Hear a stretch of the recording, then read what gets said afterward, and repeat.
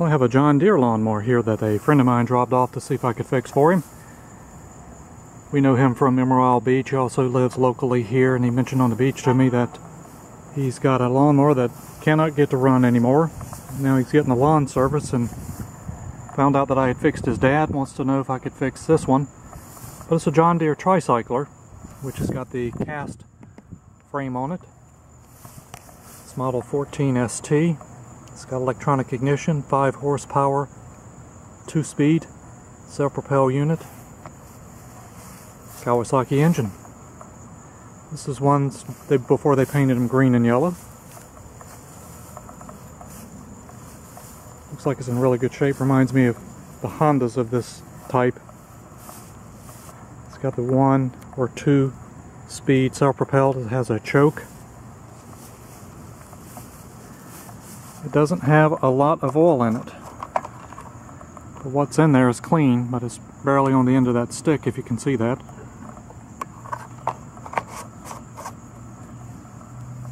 It's got a cork type air filter in it. It looks fairly clean, best I could tell. I'll clean that out a little bit better.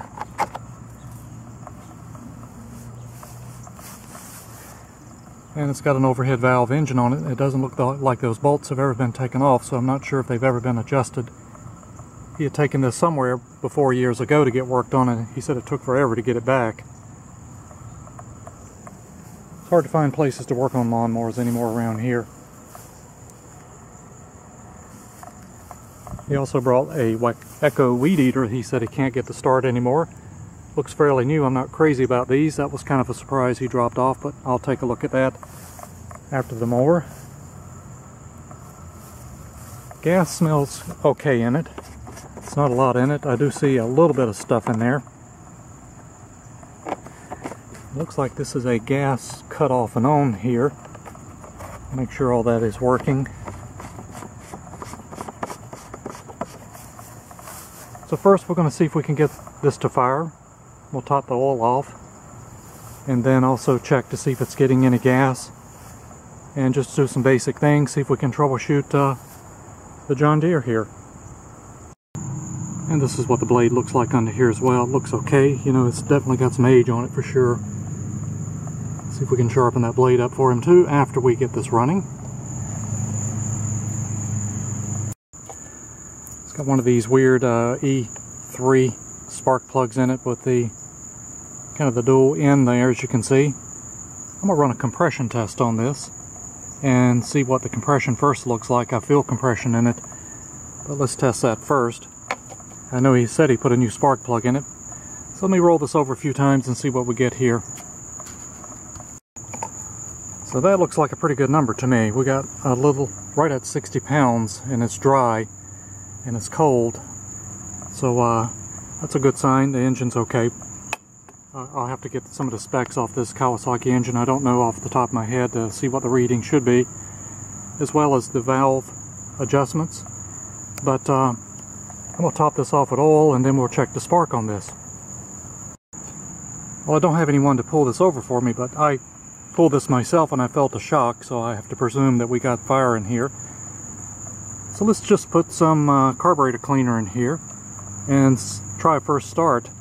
See what happens here. I'm going to go ahead and top the oil off as well. Well, it was really, really, really low on oil, so I don't know if this engine's got any kind of safety features or what, but I sure put a lot of oil in there. And I put some carburetor cleaner in the air filter area. So let's give this its first start here, see what happens. Our first attempt to start, see if we can recreate the problem. I presume the fuel is on with that. And it's a little difficult to pull. I got the handle down see what happens here. I got the choke on. Here we go. First attempt on the John Deere. And we got nothing. Absolutely nothing. It's really difficult to pull. Alright, one more time. Okay, we're going to have to check a few other things on this. One thing is really hard to pull.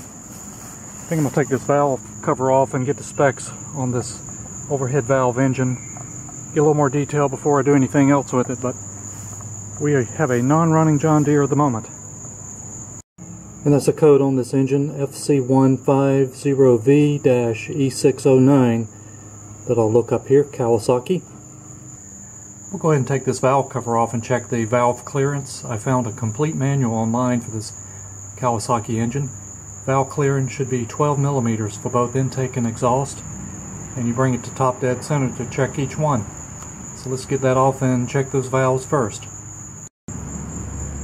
So everything's very clean in here after taking this valve cover off and I brought the piston to top dead center using my straw as the book recommended and it's a 0.12 millimeter setting for both the intake and the exhaust and these were very tight so I've loosened this nut here and then with this one you can back up and down left or right so I'm going to adjust both of these to the 0.12 so you get your feeler gauge where it's just rubbing in there like that and then let's tighten this nut here very carefully and this is the way it should look like that. We can slide it in there. So that one's done, so let's go to the other one. And I got the top one the same way. Got that adjusted. So we're going to tighten that down as well. Very clean engine.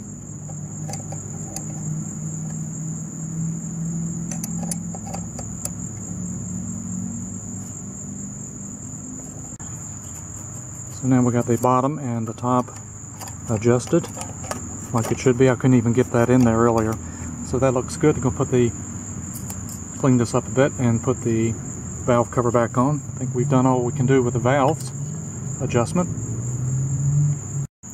Well, these have been adjusted now. I'm going to kind of roll this engine around and see how it looks.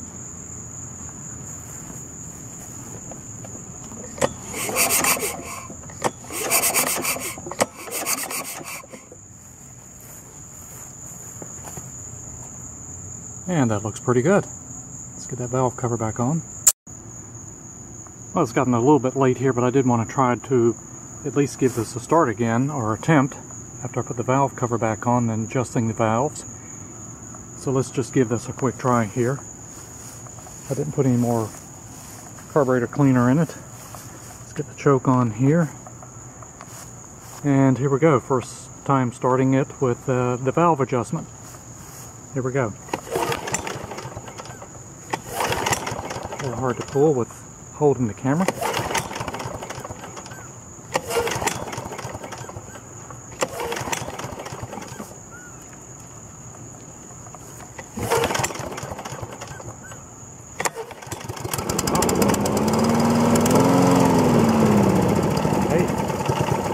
Something. It's not getting any gas, so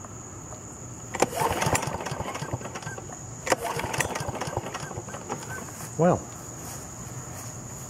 Took a few pulls there, but we did get it to at least look like it started, but cut right off, so it's not getting any gas best I can tell. Alright, well we're to work on this a little bit more, take a look at the gas flow in here, and uh, see if we can continue to get this John Deere back running.